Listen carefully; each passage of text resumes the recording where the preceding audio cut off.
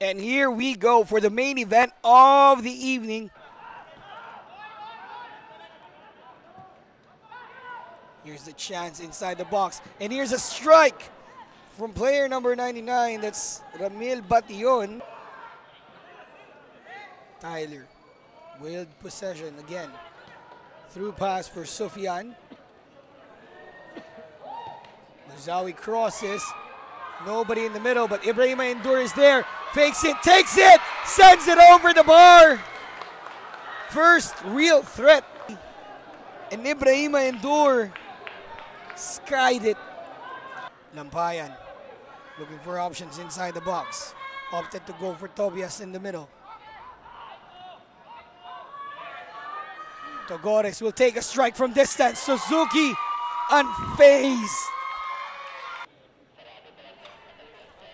UP now on the counter attack. Great ball forward, looking for Bation. Bation is on the clear. Suzuki with the save, another strike. UP sends the ball out wide. A clear, clear chance, but they spoiled it.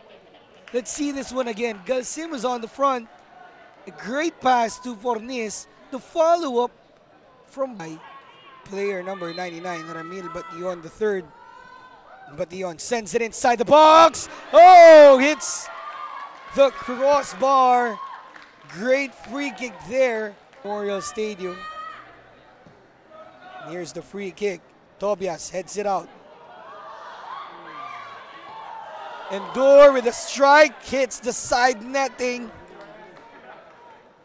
As well. Ndour controls the ball. Lobitanya marking him. Ndour ignoring him. And Ndour sends it out wide in what could have been a pivotal moment. Let's take a look at that again. Ndour ignores the entire defense. Michael Sims now to deliver this crucial corner. Sims inside the box. Headed by Tyler John. Mudang couldn't control a strike. Ndour with a strike. Saved. And Ndour at the death. Possibly wins this for Maharlika Manila FC. With the only corner of the game. Maharlika Manila makes something out of nothing. With Ibrahim Ndour ignored the first time. Suzuki sends it long, and that is it.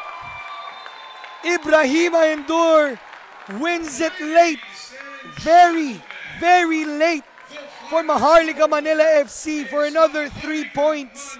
Seven points now for Maharlika Manila FC.